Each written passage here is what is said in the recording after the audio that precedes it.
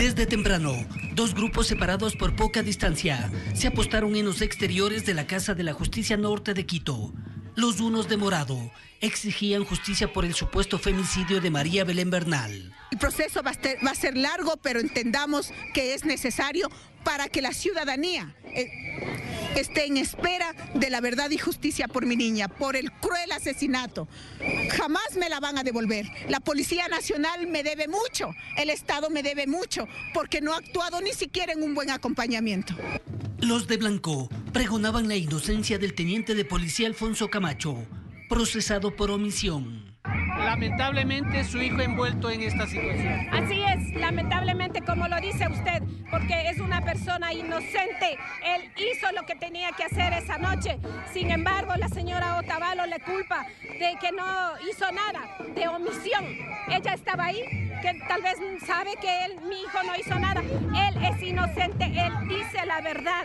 Así es, a los cinco meses de la muerte de la abogada se instaló la audiencia de evaluación y preparatoria de juicio. Ella fue vista por última vez con vida el 11 de septiembre del 2022, cuando ingresó a la Escuela Superior de Policía General Alberto Enríquez Gallo.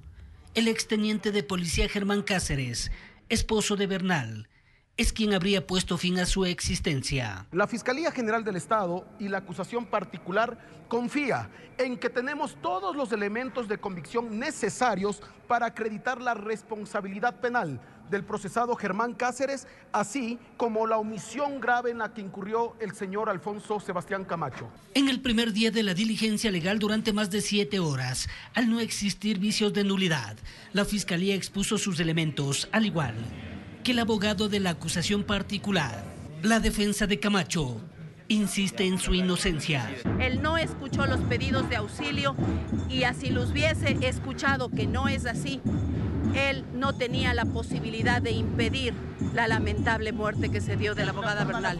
La audiencia se reinstalará este miércoles a las 8 de la mañana, informó Héctor Romero.